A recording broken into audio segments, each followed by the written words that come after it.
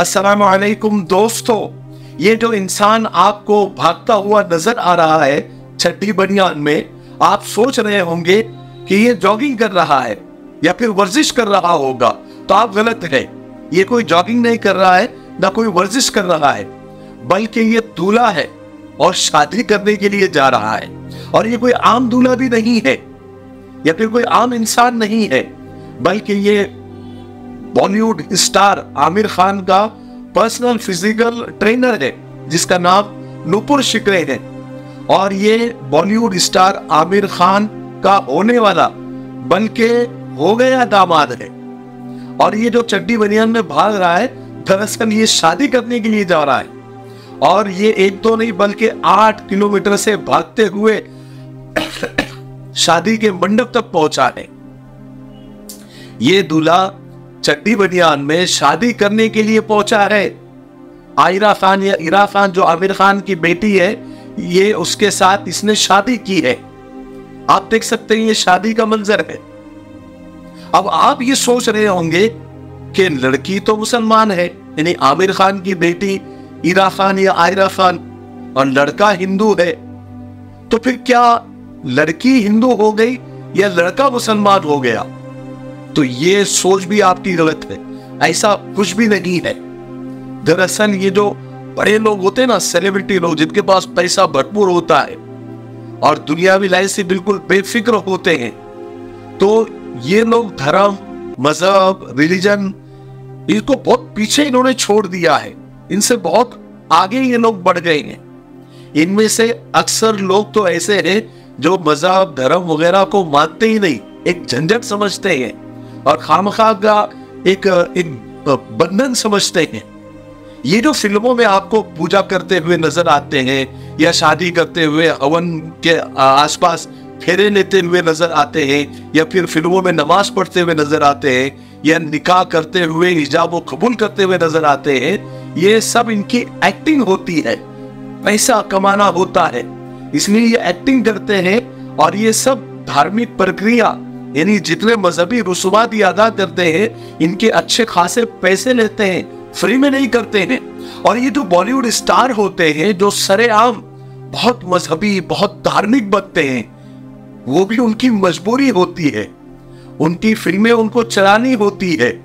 और इनकी जो ऑडियंस होती है, जो देखने वाली आवाम होती है, वो कोई हिंदू होता है, कोई मुसलमान होता है, कोई सिख होता है, कोई ईसाई होता है, इनको अपनी फ़िल्में चलानी होती है, इनको पता है। कि हमारी आवाम हमारी जनता बहुत धार्मिक है? धर्म को, मज़हब को बहुत मानते हैं। तो ये सब बताने के लिए करते हैं।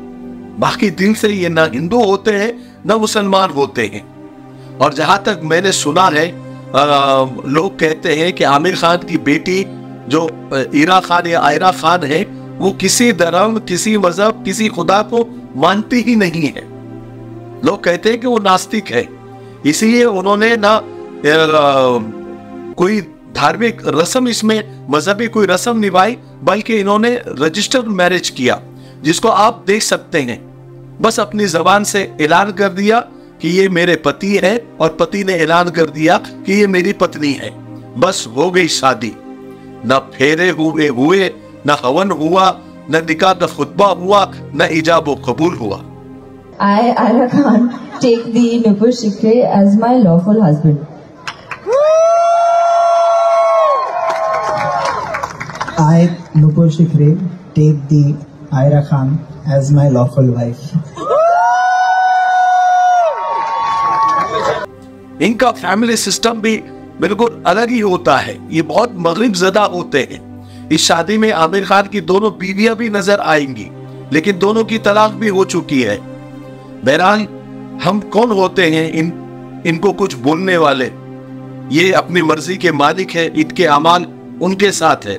हम जो इस पर बात कर रहे हैं, बस ये सब इसलिए हम बता रहे हैं कि हमारे बहुत सारे मुस्लिम नौजवान इनको अपना आइडियल मानते हैं, इनको अपना हीरो मानते हैं, इनको अपना रोल मॉडल मानते हैं।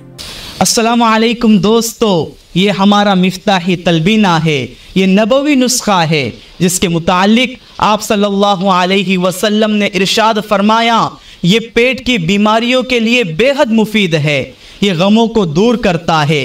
ये बीमार के दिल से गम को ऐसे उतारता है, जैसे कोई पानी के ज़रिए चेहरे से गंदगी को उतारता है।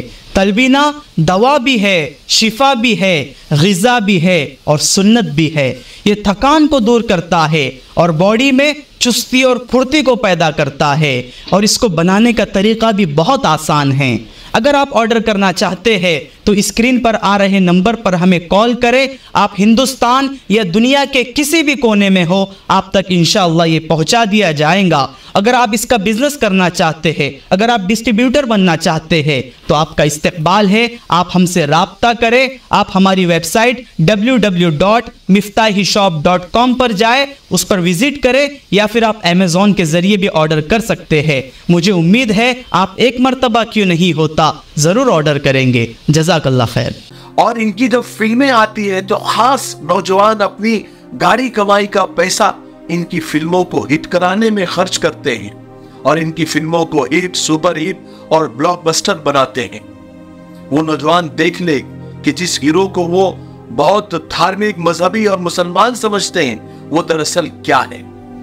इस शादी में मुझे, क्योंकि हर चीज़ में कुछ ना कुछ पॉजिटिव रहता ही है, कुछ ना कुछ अच्छा रहता ही है, इस शादी में मुझे पॉजिटिव सिर्फ़ इतना लगा कि देखिए शादी कितनी सिंपल चीज़ है, कितनी सादा चीज़ है, कितने सादगी से भी हो सकती है। और करोड़पति लोग भी इसको सादगी के साथ कर सकते हैं। शादी में हज़ारों रुपए की शेरवानी पहनना फ़र्ज़ नहीं है और कई हज़ार का माला या हार पहनकर एक दिन का अजीम शान शहनशाह बनने की भी ज़रूरत नहीं है। सिंपल कपड़ों में, घर के कपड़ों में भी शादी हो सकती है। हाँ लेकिन सादगी का हरगिज ये मतलब नहीं है कि इस तरह के चट्टी बनियान में दूल्हा आ जाए। या इस तरह का तमाशा करे। चूँकि ये बॉलीवुड के लोग हैं, तमाशा इनका पेशा है, इसलिए वो तमाशा करते हैं, मीडिया का अटेंशन लेते हैं और वो इनको सूट भी करता है। अगर हम और आप करने जाएँगे तो ढूँढने लगेंगे। आखिर में मैं बस इतना कहना चाहता हूँ कि किसी को भी हीरो मत बनाइए। सच में हमारे हीरो सिर्फ़ और सिर्फ़ हज़रत मोहम्मद सल्लल्लाहु अलैहि वसल्लम है। इसके अलावा कोई नहीं। वही हमारे आइडियल है, वही रोल मॉडल है वही हीरो है उनको भी फॉलो करने से हमारी दुनिया भी बनेगी और हमारी आखिरत भी बनेगी इनशाला ये इसका मुकम्मल हमको यकीन है। ठीक है? मुझे उम्मीद है कि आज की वीडियो से हमें बहुत कुछ सीखने को मिला होगा। तब तक मेरे लिए, पूरी उम्मत के लिए, पूरी इंसानियत, पूरी मानवता के लिए और हमारे प्यारे मुल्क भारत के लिए, यहाँ की अमन शांति, तरक्की, उन्नति के लिए और फलस्तीन के मजलूमों के लिए खास दुआएँ करते रहे। असलकम वरहमल वर्का